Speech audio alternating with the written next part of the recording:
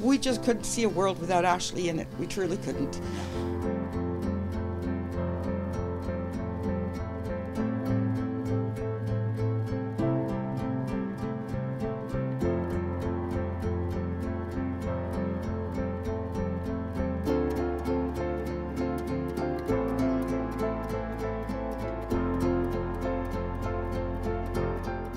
It's a struggle. It definitely is. Like daily between taking the puffers and having the side effects of those, and then uh, just being able to go for a short walk takes a lot of energy out of me.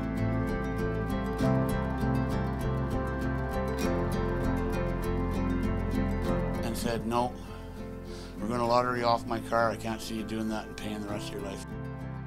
It's just one of those things that it's like beyond friendship and beyond family.